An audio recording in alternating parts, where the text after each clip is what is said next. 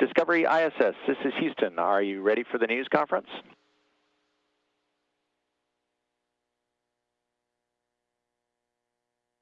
Houston, station and Discovery are ready for the news conference. Tom Joyner, syndicated radio show. This is Mission Control Houston. Please call Discovery and ISS for a voice check. Okay, I got to I got to do this intro, right?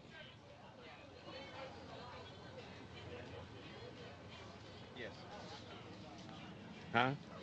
Yes, you said they have to use the intro. Yes on the intro? Ask if they Yes. start the event. We're back. We're on the air. Yes. No. They say start the event. Okay. Um, we're not on the air yet. Hold on, hold on, hold on, and I'll start the event. Got 20 seconds.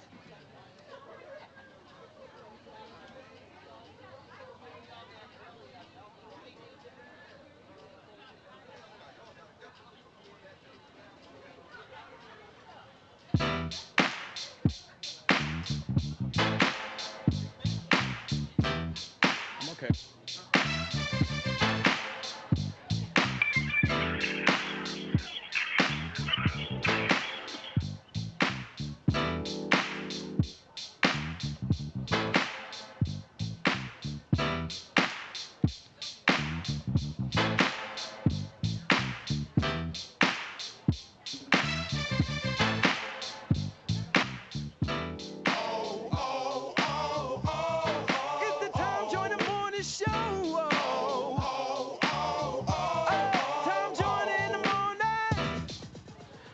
All right, I got this uh, script I have to read, right? Okay, to connect with the um, space shuttle. Um, space shuttle station. This is the Tom Joyner Morning Show. How do you hear me? Good morning, Tom. The International Space Station has you loud and clear. There's a long delay. There's a long delay. Um, we are ready for questions. No, that's what they're supposed to say. That's what they say. Okay, okay. Uh, okay, then, are you ready for questions? And Tom, we're ready for your questions. This is, uh, I assume this is Commander Alan Poindexter. He's the mission specialist. And do you have uh, uh, astronaut Stephanie Wilson there, sir? Stephanie's here. Hi, Tom. How are you? I'm doing very well. And how's it, how things going? They're going very well. It was a great day on the space station. We were able to uh, install our cargo carrier, and we'll be delivering a great experiment to the International Space Station. I understand you had some problems when you docked on the space station with your radar antenna. Is everything all right? Will you be able to make it back? Things all right. We'll be able to make it back just fine, and especially since we're here at the space station, we can use uh, some of their assets. Now NASA has uh, this. This is the first crew in space with three female and two Japanese astronauts in the crew. Uh, did you get your hair done before you went up in space?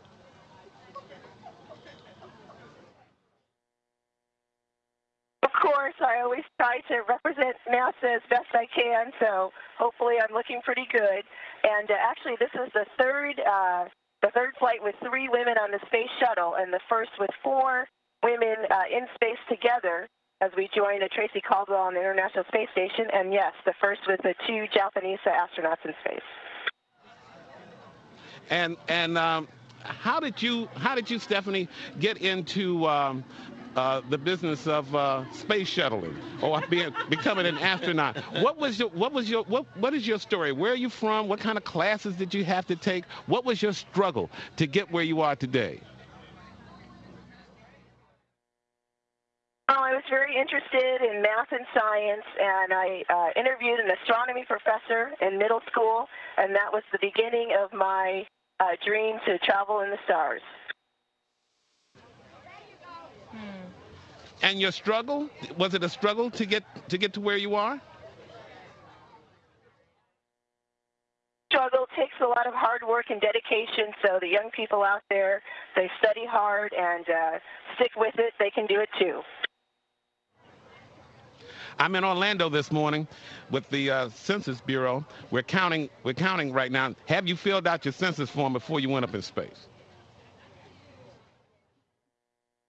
Did fill out my census form before uh, coming to the space station, but I did have to file an extension on my taxes. because this mission is 13, 13 days long. So, well, will you? Uh, we, I know we don't, we don't have any more time, but there are a lot of parents who are listening right now. And what can you tell the parents on how to uh, encourage their kids to do what you're doing? Absolutely. If they uh, encourage their children, if they uh, support them and expose them to different opportunities, uh, going to museums, uh, going to airports, uh, all of the opportunities that, that school field trips have, and uh, just open opportunities to them, then they will dream, have big dreams, and they can pursue whatever their hearts desire. That's cool. And do you have your iPod with you? What are you listening to up there in space? Have an iPod. I have some. Uh, I have some tunes to uh, exercise to, and I also have some spiritual music for reflection. Discovery ISS. This is Houston ACR. That concludes the Tom Joyner syndicated radio show portion of the event. Please stand by for a voice check from WVIT TV.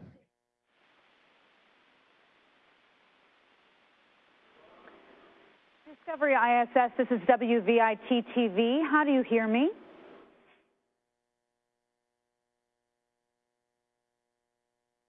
We read you loud and clear. A lot of children say they want to be an astronaut when they grow up, but a Connecticut man is living the dream. The Space Shuttle Discovery rocketed into orbit on Monday with 40-year-old Waterbury native Rick Mastracchio on board.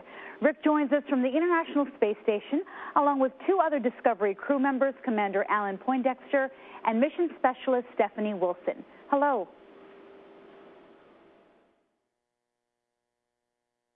Hey, How are you today? I'm great. I understand there's a delay. We understand that. But Rick, let's start off with you. You played a special lead role on this trip, so tell us more about that. I am uh, one of the spacewalkers along with Clay Anderson. And what we'll do is tomorrow we'll go out for our first spacewalk to begin the installation of a new ammonia tank on the International Space Station. And then we'll finish up that task over two more spacewalks later on in the week. Now, Stephanie, you helped set a record for the most women in space at the same time. Explain this history-making mission. It's very historic. Uh, we, of course, are very fortunate to have uh, have had many women uh, come before us to uh, uh, fly in space, and so we're very thankful for their contributions and their dedication to make it possible for uh, for the, the ladies on this flight to have an opportunity. Uh, we have many in the uh, astronaut office that are very supportive and, and are good mentors, and so we have a lot of uh, experience to draw from. Well, you are making me extra proud. Alan, this next question is for you. The crew is on a 13-day mission. What kind of work do you have planned? I know you're very busy. Our, we're, uh, it's a really busy flight. We, in addition to the three spacewalks that Rick and Clay are doing, we have uh, about uh, 12 to 13 tons of cargo that we have to get across from the uh, multi-purpose logistics module. That's our cargo carrier that we brought up in our payload bay. We attached it to the uh, space station this morning. Stephanie and Naoko did. And uh, just a few minutes ago, we opened the hatch for that cargo carrier. And uh, we're starting to pull supplies out now. So for the next uh, several days, we'll uh, we'll be transferring supplies, science rack, research equipment over to the space station, uh, in addition to a new sleeping station for one of their crew members. Nice. Now, Rick, back to you. Growing up in Waterbury, I had to ask, did you always dream of going into space? always interested in math and science and studying things in uh, studying about space, but I never really knew that I could become an astronaut until I was uh, out of graduate school and I saw an advertisement in a magazine and decided to take a chance. And nine years later, I was selected. Wonderful. And the shuttle program comes to an end after nearly 30 years as shuttle astronauts. Will it be a sad day for each and every one of you?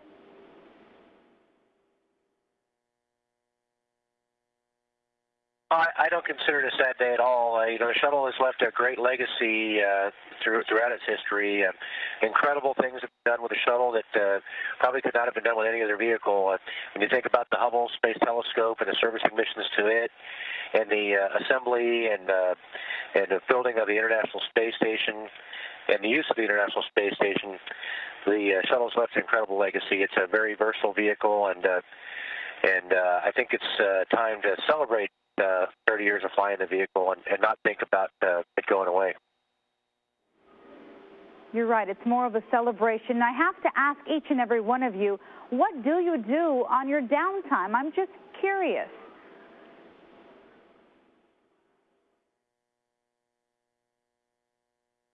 Well, one of the great things about being in space is being able to look at Earth and the view out the windows. And so uh, a lot of us spend time uh, looking at Earth and uh, reflecting on the spectacular view. Yeah, I have to agree. We uh, spend a lot of time looking out the window, any spare time that we have, which is not much, I should say, and then we just uh, enjoy this enormous space station that we have. This thing is incredible, and it's just uh, it's just fun to explore.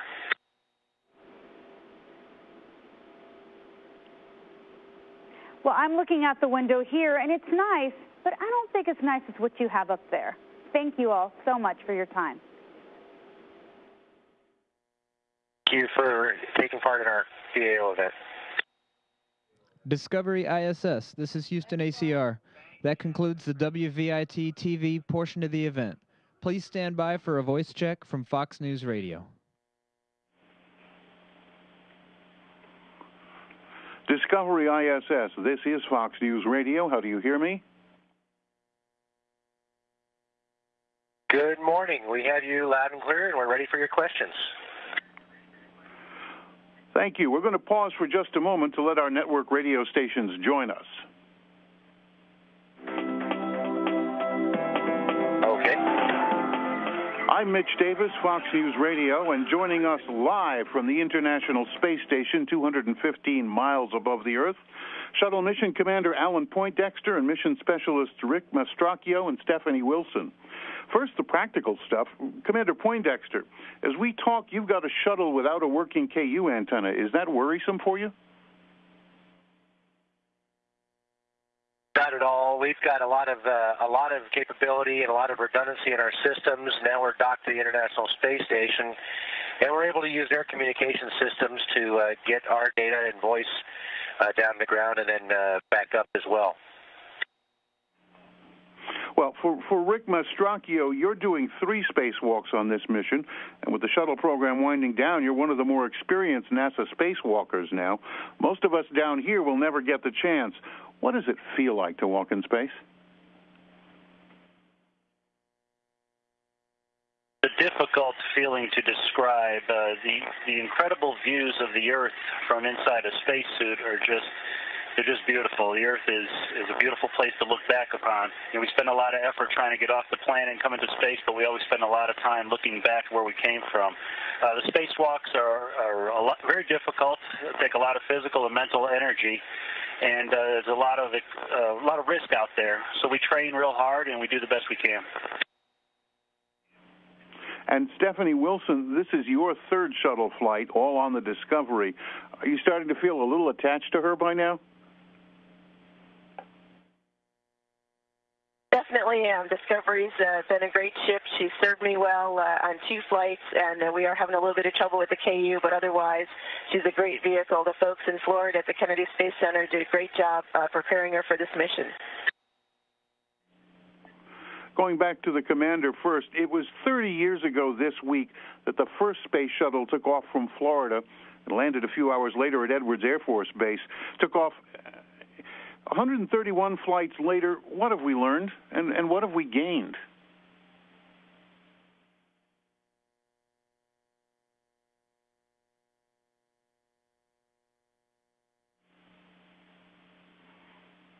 I'm sorry, if uh, I'll repeat it. 131 flights after the shuttle first launched uh, 30 years ago today. What have we learned in those 131 flights, and what have we gained in, in all those years? Well, that's a great question. Um, I could start with uh, where we are today. The International Space Station is uh, a wonderful research facility and uh, world-class laboratory here uh, orbiting 200 miles above the Earth every day. The uh, combined weight of the shuttle and station is uh, approaching a million pounds or just over a million pounds. And it's a marvelous facility. We have 13 people on board right now. And without the shuttle, we would not have been able to build this facility the way we did.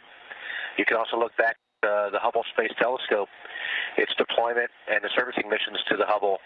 Again, uh, all due to the versatility of the space shuttle, we can get, we get the magnificent views and uh, great science and research that uh, that the Hubble Space Telescope provides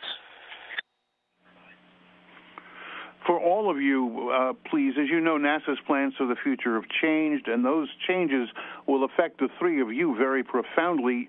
Do you think this could be your last trip into space, or do you think you'll be involved as the space program evolves and changes? Well, I can't speak for the others, but I certainly hope to return to space someday. Of course, I'm not getting any younger, uh, but uh, NASA will uh, build a new vehicle in the upcoming years, and I hope to be part of it. And I agree with Rick. This is certainly a special experience, and I hope to have another opportunity to perhaps uh, be a member of a long duration flight on the International Space Station. One last question, and that is there are youngsters who'll be listening to this. Uh, what do you want to tell them if they're thinking they want to go into space? Give them some direction. What should they be doing now? I think the best direction we can give our youngsters today is to is to uh, is to dream big and uh, and follow those dreams. Uh, work hard to attain your goals. Do something you enjoy, and and work very hard at it. I think that's uh, that's the key to success in life is to do something that you're happy with and, and work really hard at it and uh, be the best you can be. Can I ask you to pass the mic over and get the same question to the other two, please? What do you want to tell some youngster getting ready to go into space? What do they study? What should they do?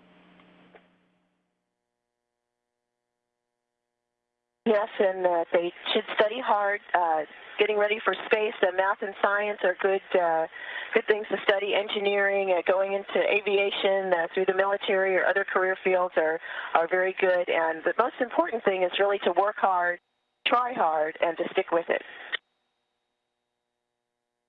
Yeah, I think the commander and Stephanie summed it up pretty well. It, find out, find something you really enjoy, work very hard at it, be dedicated, and uh, put in an application to NASA and see what happens. Thank you all for your time. We've just spent a few moments with Commander Alan Poindexter and mission specialists Rick Mastracchio and Stephanie Wilson on board the International Space Station. I'm Mitch Davis, and this is Fox News Radio.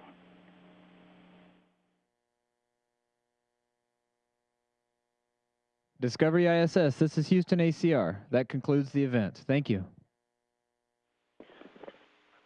Copy, thank you. And thank you, Tom Joyner Radio Show, WVIT TV, and Fox News Radio. Discovery and ISS, we're now resuming operational audio com on spacecraft.